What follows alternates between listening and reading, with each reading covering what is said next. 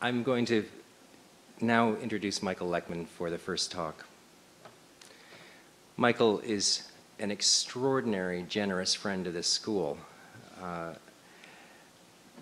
as principal of Diamond and Schmitt Architects, he was born and educated in Montreal, and he studied architecture at the University of Toronto. On graduation, he joined Diamond and Schmitt and was named principal in 2003. And he's recognized for providing design leadership on complex institutional projects he has shaped critical debate as the vice chair of Toronto's Design Review Panel, and he contributes design education as guest critic, lecturer, and mentor at schools of architecture. And his photography is quite extraordinary and has a wide following in parallel. He's been the project principal for some of the very finest buildings in Canada. They include New Brunswick, Ontario, Alberta, British Columbia, New Mexico, New Mexico is not in Canada. It's also a profoundly fine building. Um, and his list of key assignments include the Bahen Center uh, at the University of Toronto, which many, many of you may, may know uh, just to, on, on St. George, the York University Student Center, the Esplanade in Medicine Hat, the Algonquin Center for Construction Excellence, and the Center for Green Cities at the Brickworks, at the Don Valley Brickworks. And currently he's working on the Brock School of Fine and Performing Arts as well as trades and technology schools in Lethbridge and Kelowna. Um, I can't resist a, a, personal comment, which is that Michael taught me to draw um, and uh, was one of my very first mentors, and I, I owe a, a, profound depth of, uh, of, of gratitude to you for, for your vision and craft and sheer enthusiasm for architecture. Welcome, Michael.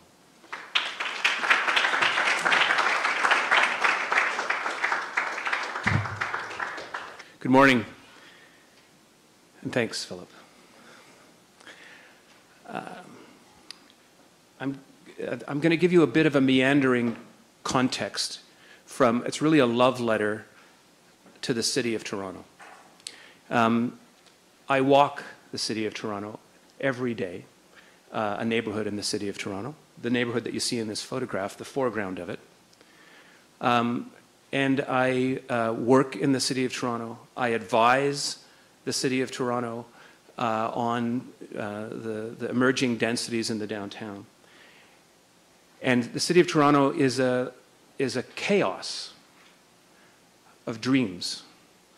Uh, each neighborhood very precisely articulating a dream, and then the dream evolving a little bit and becoming uh, adjacent to yet another dream Sometimes those dreams change over centuries, and sometimes they change over decades. And what we're seeing right now, witnessing right now in the city of Toronto, is a change happening over years. Um, there's a very precise dream being prescribed, being defined by the building types that are dominating the city of Toronto right now. Uh, they are uh, deeply embedded in the history of Toronto, strangely enough, though they may not look like it. They, uh, they, are, they borrow bits and pieces from all over the world, just as all of our building types have done. And they're creating something which we're seeing emerge, and we have no idea what future it's going to bring. Um, but there are aspects of it, actually, which, despite all of the, the, news that you may hear and the reports that you may hear, are actually have tr actually transformed Toronto into a place which it never dreamed it could be, and is actually better than it ever thought it could be, interestingly enough. I live in a high, in a tall building. And um, I can tell you that I didn't expect to live in a tall building. I, there were many illusions uh, and stories and mythologies of living in tall buildings. Um, I have more neighbors living in a tall building than I do than I did when I lived on the ground. I have a, a, a wonderful urban life. And I can tell you that waking up to this every morning um, uh, is pretty hard to compare with living in, on the ground. I have lived on the ground. I've lived on a laneway um, in this heritage uh, uh fabric of the city of Toronto. In the center of that dot is an 1880s house, a row house in, in, uh, in the South Annex, so called.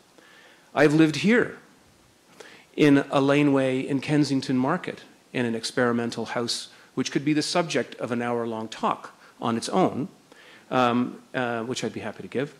Um, designed by the former director of the School of Architecture at University of Toronto, uh, who in 1984 uh, dreamed of, a, of, an, of an urban future of intensification of laneways only and of uh, energy responsible buildings and an architecture of craft. And by the way, this was my walk home every day. This is a laneway in the city of Toronto. It's not the city of Toronto that you may be familiar with. I'm also currently living here, and this was a dream put forward in the 80s, in the sorry, late 70s and early 80s, and I'll explain to you how it got to be so, but that's where I live. And you can see that this tall building, about 21 stories in height, I live on the 14th floor, is complemented with two and a half acres of open space at grade, which at the time didn't seem like a very big deal. But in 2014, I defy you in the entire city of Toronto to find another recent project that has taken so seriously the need for open space at grade and density. So what was a second class project um, for a while became strangely enough, a first class project when all the adjacent buildings in the downtown discovered that they got great views and they have great balconies, but they didn't have access to open space at Gray. So this is a remarkable project for that reason. Again, just another teaser. In November, uh, when we have the great storms, this is what it looks like when I have dinner. um, so there's some context. Now you know a little bit about me. I'm going to circle around a little bit and say that in about 1919, so nearly 100 years ago, the vision for living in an urban circumstance was being taken on by people like you, just a little bit older than you, in this case by a watchmaker, who thought living downtown could be fantastic. It could be the best experience you could have. And um, uh, he imagined that there was no reason that de high density living could be any different than uh, living uh, on the ground. And so he proposed, as part of, a, of an architecture exhibit, um, uh, first of all, a, a, vision for the city, and secondly, this, what we would be, in, in today's term, uh, idea of a balcony in a condominium. This is the balcony. This is the living room and dining room. Those are the living spaces behind. And this is the upper floor. Bedrooms, playroom, exercise room, overlook to below. This is the entire apartment. Imagine conceiving of the best possible way to live in the city, a place to, to enjoy green, a, place to entertain, uh, a place to relax, a place to play, um, and then multiplying it. So having the dream and multiplying it. Imagining um, beyond that garden that, that I was just showing you, that you might also want to reach out beyond the building face and enjoy a view up and down a street. And then, in a very generic way, without suggesting that it be uh, the, the end solution of a particular investigation, suggesting that it could create uh, streets as well as open space at grade. 1921. Think about what you imagine 1921 to, to be. um, uh, looking back on, on the city of Toronto in 1921, any great city you've been, and, and, and imagine that someone is trying to reshape our perception of living in the city by um, first imagining the unit itself. Right? Pretty interesting. Now, this project, these units, this design was considered to be a crime by the local establishment at the time. Um, he was, this person, this watchmaker, was reviled by, uh, for having made this design. And uh, his proposals for the city of Paris at the time were considered to be um, uh, as, as close to, to, to, to, to heresy, beyond heresy, um, as you could possibly imagine. How, at that time, this could have been seen that way is very hard to imagine. Certainly, looking back on it now from 2014, um, it just doesn't seem to be too criminal to me. And just to put a, to, to sharpen his uh, the, the, vision, he um, uh, he and his group um, decided to promote this idea by actually building an example of this way of living in an exhibition. So here's a view of the garden, uh, looking one way, and here's a view of, the, uh, of, it looking the other way. So our view, our, our view of living in the cities was forever changed in, with controversy and with possibility by this watchmaker's sketch and belief that there was a way to actually enjoy living in the city. I'm calling him the watchmaker because I don't want to say his name. And um, uh, if you know the, the, uh, the exposition in 1921, which you can Google right now on your computers, you'll know who I'm talking about. He later became, it's a test. Uh, he, and his ability to look at human possibilities for living in the city or the country, um, and for bringing together the modern possibilities in architecture and current construction techniques, really did profoundly affect the way that we live and, and, and, and perceive the city now. So as I mentioned, so I'm going to be putting out some threads. I'm, i hope that I'll, you'll believe that I can tie them together uh, as we get closer to the end. Um, so Toronto, most cities are laboratories of ideas. They're laboratories of dreams. And if you're lucky enough, if you're Paris in 1850, um, or you're um, a city in, in the 16, in, in, in Italy in the 15 or 1600s, they're all built with the same dream. So everything looks the same, six or seven stories high, or one or two stories high. Um, if you're in a city that's, whose dream is changing because technology and possibilities are changing nearly every decade, then you have these, these dreams adjacent to each other, um, and they, they begin to look like chaos. So think about Paris between 1830 and 1890, New York 1830 to 1890, and Toronto 1880 to 1910. They're all being built at these scales. Um, one of the, I showed this photo at the beginning. One of the things about Toronto is that it was built largely between about 1880 and 1920 at two stories with a tree, a front garden, and a back garden as the dream. So we really, those of us who are lucky enough to live in Toronto, live in a forest that happens to be traversed by streets and has houses in it. But it is a forest. And if you are on the sixth floor, fifth floor of any building in Toronto, you'll see that it is a forest. You can't even see the houses in the middle of the summer. It's remarkable. Um, of course, where density increases, that relationship between green space and built changes, and you can see in the center of this photograph um, that in the center of the city, and this is about three years ago, um, it's changed considerably even since then, you can see that that balance changes. But it's a remarkable thing. This is not empty. This is not devoid of construction. That's filled with houses.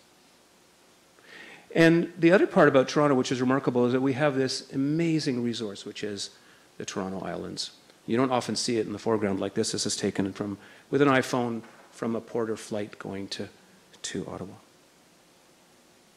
But every city needs to be, it, it helps. And one of the things that underlies this presentation of context that I'm giving you is understanding the, the place of invention. If you understand if you can try to understand where your city has been, what the context is, where it's going, you can be better equipped as visionaries, if you're lucky, um, to find a place of invention in your project that's appropriate to where you're building. And that's part of the reason for giving you this little bit of context in Toronto. So keep an eye as we go through this next series of slides on the ratio of green to gray. Um, this is the, the, the, the, the, um, the default, I guess you could call it, pattern of building in downtown Toronto. There's a main street up here. There's another main street down there. And there are these long blocks between them. And not far away, um, a, a fairly generous park. Just imagine what the ratio is, for instance, of the individual's uh, uh, in, um, of, of green space within each individual home and garden, and then the overall ratio of green space between these homes and this shared park. Just keep that in mind. It's not an easy number to come up with, but just look at that ratio. It's a very successful neighborhood from a planning point of view. Architecturally, these neighborhoods are just okay. But from a planning point of view, the livability of these neighborhoods is second to none, frankly. This is downtown Toronto, second to none. The reason that there is a condo boom in Toronto is because of these neighborhoods establishing a, a livable city. And they're borrowing from that livable city that's already established. And the livable city is made by this incredible parent pattern, which is commercial development and commercial uses, public uses on the main streets, and those main streets um, being different than the residential streets in between. This is Paris. Uh, notice the ratio of green to gray. Um, and there it is in plan. There's no green within the blocks themselves. All the green is on the street where, where it can grow in the seven story, seven stories city. Um, this is a three to five story low rise New York City. Just keep in mind the previous balance, previous balance that I showed you. And this is this, the New York City, the Manhattan that we associate. This is the 10 to 20 story New York City. Where's the green? Well, the green is Central Park it, or, or, or neighborhood parks, but it's not here. This is a pretty big slice of city. You can just see there's one tiny spot, the upper right corner, right there. Yeah, a tree. That's a very different experience of the city. Obviously, this is not an unsuccessful city, but it's interesting that the balance that has been struck over the history of development of Toronto includes um, uh, an understanding and appreciation for open space at grade. So Toronto is built with this superstructure of highways and parkways, this armature of main streets, the, the protected realm of the residential streets, and the support spaces of laneways. And sh I showed you a laneway. This, no doubt, I, I, I, that you've seen these, the two documents that I'm going to show you in a minute. Um, the uh, mid-rise and avenues guidelines for the City of Toronto and the tall buildings guidelines for the City of Toronto. They're documents that are loved and loathed uh, by, by developers in the profession. Um, they're loathed because they limit. Um, those who love them see them as being a, a, consolidation of everything that's been learned about the city of Toronto, informed by the quote that Philip gave you at the beginning of the talk, which is learning about the city and appreciating the city through the eyes of Jane Jacobs. So this document is a consolidation of all of that. Imagine that. And what you see in this document is, a, is an indication of where its expected density is going to go on avenues. So, so um, uh, Bloor Street, um, uh, King Street, um, and I think your site is right about, let's see, right about here. Um, this is an idea that density can go in main streets where transit already exists, and it can be used to reinforce the transit network, reinforce the density of cities without jeopardizing those neighborhoods that I showed you. So it's protecting the neighborhoods. You'll notice there's a big gap in the middle. The big gap in the middle is where the rules about density, because of economic pressure, are very different. So what I've shown you is that there's, there's been over a century of adaptation of all sorts of building types in the downtown. Um, and that in the area, and including the area where you are considering, we are still learning. So you've got 110 years of experience and about 10 years of experience. And we're still developing what these building types should be, can be, what the life in those areas can be.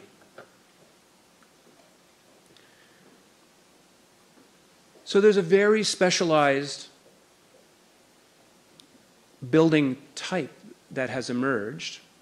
And if you, I'm not going to go over it in detail, but if you have read the Tall Buildings Guidelines, if you've looked at the case studies in the Tall Buildings Guidelines, and you've done the same in the mid-rise and avenues, you'll see that there is a very mature understanding of urban living and a very mature um, uh, response to climate and street making and sky view and light access and all those things. The, the, built, the building form that is meant to represent those is something that I hope that you can understand and then innovate with. But my premise always in this case is to make sure you understand because there's a whole lot of knowledge embedded in those two documents and in the building types that are emerging that need to be taken forward when one explores other options. I should mention that this is a competition that for a building in uh, Regent Park uh, that we lost. Um, and this was about 30 seconds before uh, I put the model in a box and drove in a, in a, car across town from Jack Shimoniak's office, a model builder, all the way to the west end, the east end of town at Regent Park. And those are all the model builder's hands finishing the last pieces of the model, which were five minutes ago all laid out on the on the bottom uh, on the on the pieces of paper next to it, which freaked me out, and I was I was going to have a heart attack. Um, um, successful main streets are not an accident, and one of the things that is is uh, that is very strong in Toronto has been our two-story high main street. We um, it's interesting that when, when, uh, when you have the change, the radical change between summer and winter light, um, as we do in Toronto, as you do here, that um, it's remarkable that you can get light on the north side of a street when the, store, when the street is a two-story high street. And when you go to the street that is being projected now as a one-to-one street, um, a, a cross-section where the street width and the, and the building heights on either side are the same. And it's something that has had um, a kind of a, a special, um, um, what's the word? Uh, special importance in, in planners' minds. The, the interesting outcome of that is for about four months or five months of the year, there's no light on the north side of the street. So this success, this livability of, our, of, of the city of Toronto and the two-story street, um, is now going to be replaced by this. And we're going to have to learn to work with that or maybe innovate so that there are ways of getting light in the six story or seven story or eight story street that, that, uh, that uh, will get us light on the north side of the street that we didn't have before. So imagine if, again, I'm hoping uh, that you've had a chance, and if you don't do it with this project on this term, that you do later, find a chance to read the mid-rise and avenues guidelines, they talk about light access as a critical piece of the design of the streets and avenues in Toronto. And here's an important street, College Street, and there's a 20 meter wide street in the city of Toronto. So you can imagine one-to-one, buildings on either side, in order to maintain that, the, um, that one-to-one cross-section that's in the tall buildings and uh, the uh, avenues and mid-rise guidelines, you would have a 20 meter high street. Here, Spadina Avenue, 30 meter high street. Here, the Esplanade between Sherbourne and Berkeley, uh, downtown, a 60 meter wide street, 60 meter tall buildings on either side. It's a street with a park, yeah. So uh, the reason for showing you those is to, to let you know that, that certain aspects of livability are, are happy accidents in our northern climate and um, sometimes you can design uh, things that don't recognize happy accidents. Um, but I ask you to just consider that, to consider light access as one of those that's made Toronto a very livable city.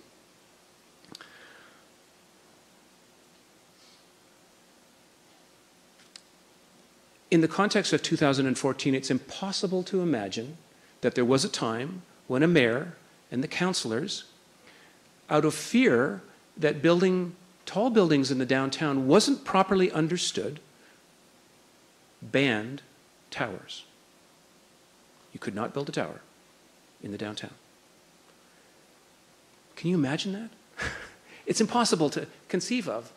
It's impossible to imagine that a, a mayor could have the vision to say, based on what we're hearing from Jane Jacobs, because that's literally what was going on, we don't know that what we're doing with all these towers is better than what we had before. We don't know. So, based on we don't know, accepted that there could be a ban. Incredible. I just, it makes, I just. Now, imagine that um, uh, what was going on was that single family homes were being torn down and they were being replaced with towers in the residential neighborhoods, in those pockets that I'm telling you, the new mid-rise and avenues guidelines, the new tall buildings guidelines are meant to protect. There should be, based on these guidelines, no buildings built in the same locations as these tall buildings were back in the 60s. That's part of the reason they're doing that. Um, so I, I, I, I, if you re remember nothing else from this talk, remember that something that you and I can be complicit with in the development of the city can actually create social failure. We did that. Not they did that. We did that. It's interesting to keep in mind these, the, the happy accidents, the, the insight and the wisdom of those like Jane Jacobs and others, to keep us mindful of the impact that we can have as, as, as architects. This is April 1973. I show you this photograph because uh, I, I, had someone doing some research for me, and um, this was a student in our office, and she said, I recognize the folding of hands behind that person. Could that possibly be someone we know? And that person is Jack Diamond, and he's just leaving a, a demonstration to oppose the demolition of houses and to replace them with towers. And uh, someone who, uh, this, the founder of my firm, uh, who was an activist all the way through the 70s and late 60s, um, trying to make sure that there was a, a, um, a good understanding of the making of cities and that we were making our cities on good principles. So the response to the banning of towers was to try to find some other building type to use. Where to go? Well, Europe has successful streets. Let's imitate Europe. How does Europe make streets? Well, they make them with superblocks. They build up the edges and leave the, the middles empty. So let's give that a try. Um, in, from 80 to 90, uh, in addition to the superblock strategy, uh, people were thinking, well, we just need to fill up all those laneways with houses and we can probably get the density to be uh, higher without building towers. So the house that, I'm that I showed you that I lived in was a response to that. Oh, yeah, you could live in a laneway. Um, those things are all going perfectly well, and then, the, then uh, uh, uh, a, um, there was a financial crisis that hit in 1991, and um, all construction, all economic activity stopped. And in a hope to bring economic activity forward, Mayor Barbara Hall proposed that um, all zoning guidelines uh, be relaxed, not eliminated, but relaxed, and um, that it be experimented in an area called the Kings. And the result of that was an instantaneous response by the development community, leapt on it, and started building immediately, and the building construction boom has not stopped since. So 96 to 2014, since the relaxation. And since that time, the City of Toronto has been trying to catch up with what the development community and architects have been trying to, to do. And with that period of time, as uh, density has gone up, so too have land prices, and so they're chasing each other across the city. Um, it's interesting to, to reflect on what we were doing in the 60s, we, the design profession. We were trying to, uh, we had an ideal about access to light, green space, the commonality of open space. Um, we had a very interesting, different view of the street. The street was considered to be tyrannical. You should not make streets. There should be one common open plane that buildings stood on and that everything else should belong to everybody. Pretty idealistic view, right? Um, so when you see the towers in the park that are the that are heritage from the 60s, think of that as one, an incredibly powerful political statement being made by architects and planners that open space should belong to everyone. We're at the other end of the spectrum now in 2014. Any site that any project has, you included, and the assumption is that you build out to the edges of the site, you fill it up, and um, the street is the public realm that should be created. It's very interesting. Interesting to see it in contrast. The one that we're doing right now has huge advantages. I can tell you from where I live at King and Bathurst, the way that the city has evolved in the last 10 years is great. King and Bathurst to King and Spadina is one of the great pieces of city street in all of Canada, possibly North America, maybe beyond. It's wonderful. It is true. You want to know how a main street works with density, that's where you go. We've created a building type that has serious energy questions. And not very many of us are willing to take them on very seriously.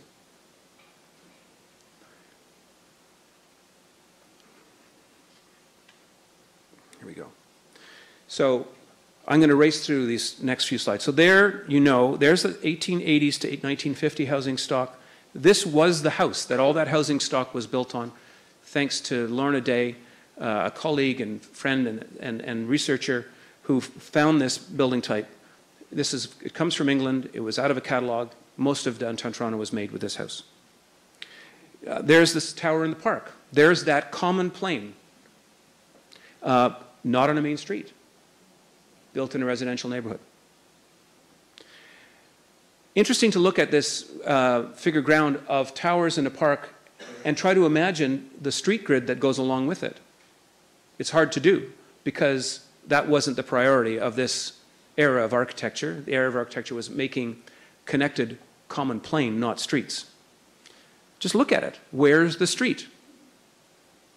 Right? If you take a figure ground of your buildings of the city of Toronto now, it's easy to find the street. You just can't see it in these at all. And it just underlies that the philosophical and political statements being made by these buildings back then that are very different than what we're making now.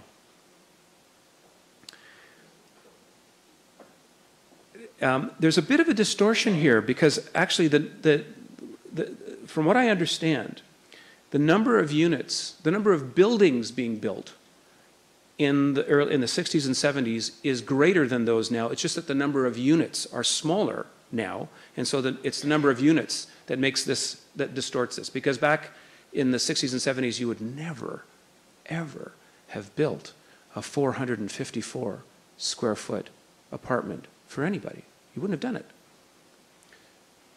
You would have, you would have bottomed out at about 800 or 900 square feet. So in that same area, 900 square feet, you, basically it's double. You can double the number of units. So look at that construction that's taking place. This, um, in the 1970s, in response to the banning of the towers, mixed height, mixed uh, height, mixed income housing, and you can see it's kind of a super block. Um, there's my building again in the very, middle of it. It's a super block, uh, but it has uh, a low front and uh, transitional area and, and open space at grade. So there you go. There's that reiteration. Barbara Hall's big gamble to save the city's economy, change the, the zoning. Kind of amazing. And then this is the first stages of that change zoning in the downtown. This is um, uh, around the railway lands, but you can see the towers, the green space, the podia, and what that results in. It's interesting that it looks very, it looks one way from above. Street making in some areas, when it's been done well, has actually been quite successful. When the bottom piece, call it what you wish, the piece that can modify itself to suit local circumstance, when it's done right, it actually can do a pretty good job.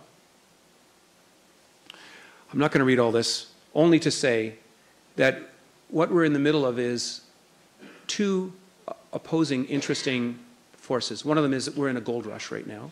People are coming from all over the world to build in downtown Toronto. Um, it's, a, it's a huge opportunity. Um, it's it's a, a, a opportunity for, for developers to make a massive profit. It's very successful. Um, but it's also a, a rare case where in our lifetime we're able to see a single building type be repeated um, and create an entire context in the way that we couldn't have if we were in Paris between 1830 and 1880 when it was happening there. So we're seeing that happen in our city now. There is a context, and there are many reasons. And as I mentioned about how dreams, um, the building of dreams actually coincides with um, a construction technique, there are many aspects of, of, of this new context that are based on the convergence of all these forces concrete frames, certain kinds of windows, uh, underground parking.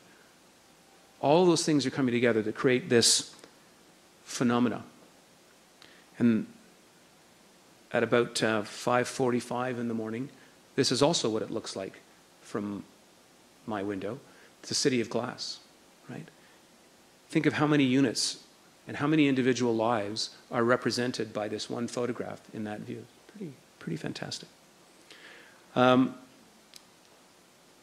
energy efficiency, I'm not going to spend too much time on that. I should spend much more time on it. The idea that this building type can be more efficient than a single family home should be true, isn't true yet. Imagine that. Not true yet. Um, a little bit of eye candy and then a, a, a, summary. One of the things about the development of towers in the downtown, because the particular construction type, because the availability of particular windows, because of the zoning guidelines, because of parking, all the buildings look the same. Why do they look the same? It's all of those things. And because they look the same, you can think, well, that's what I've got to do, because it looks the same. And what I ask you to ask yourself is the model for the buildings right now is a hotel room in the city. Now, I showed you a different model at the beginning of the presentation, not a hotel room in the city, a home in the city. But the model is a hotel room in the city. Now, there are lots of definitions of hotel rooms. And if you haven't been in a condo showroom yet as part of your project, um, shame on you. But, you but if you haven't yet, you should find a way to go because you'll see that they're pretty, you know, pretty good hotel rooms. But what they're, they're not are buildings that are taking another view of the priority of this building type. This is a building in, in, um, in Spain that, um, that takes energy uh, conservation, the making of a skin. Uh, it's not a condo, but the energy conservation, the making of a skin to be a place of innovation in order to conserve energy. Um, these next several slides are houses and, and places where you can live that don't assume that the, the, the reference point is a hotel room. They're something else.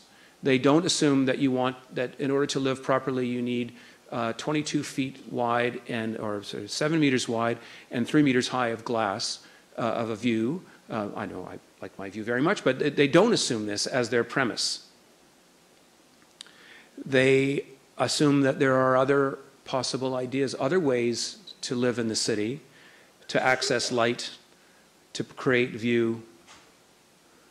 Um, and some, uh, almost 100 years later, have, this is visible from the High Line uh, next time you visit, um, uh, where someone has created the most wonderful condos and porches and movable screens, possibly um, uh, dreaming in a way that the watchmaker dreamed a hundred years ago.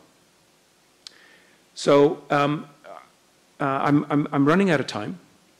Uh, I'm going to try to wrap up um, and just say that the, the idea of protecting the, um, the residential streets, um, of providing light access and view, of, of uh, recognizing how wonderful it can be to be in the city, and remembering that uh, this was called the Doomsday Toronto diagram. You may have already seen it. It was someone saying, you know, if we leave the zoning the way that it is, Toronto could look like this. Um, and it was a drawing done by I think George Baird, um, back in about 1970 something. Um, and as it turns out, uh, it was based on that paradigm that I was explaining to you about the common, the, the common ground plane. Uh, on the story of scale of unit, you know, this is one scale, this is another. And if you really want to go small, uh, which is where we're headed, you can go very small. And this was a study done in a school of architecture, uh, where a student was responding to a, a professor's request to optimize space. Um, um, and as you know, balconies can be um, an, an, an idea of a balcony rather than the balcony itself, and they can keep getting smaller, or they can be part of a bigger vision of what it's like to be in the city. Um, if you have a QR reader, a QR code reader on your phone, take a picture of this now. Um, I ask you um, um to uh, spend 48 minutes and 54 seconds approximately with a fellow called Gerald, Jeremy Rifkin. And uh, he will, uh, the first 10 minutes are a bit hard to watch because it's pretty gloomy, but he has a vision for the, the place of architects in the ability to change the world. And uh, he has five pillars of a third industrial revolution. And the second pillar is transform the entire building stock on every continent to micro power plants. So imagine that in all these other things which are political, that you, as architects, have the possibility of becoming part of a transformative change away from fossil fuels. Five pillars of the third industrial revolution. I was fascinated by this project on Roosevelt Island which didn't have any green roofs. And it occurred to me after that they were thinking about buildings as micropower plants, not only as trying to control stormwater or manage uh, solar um, uh, heat island effect. So a watchmaker imagines urban life. A philosopher imagines a world without fossil fuels and an architect tries to bring all that together. Thank you.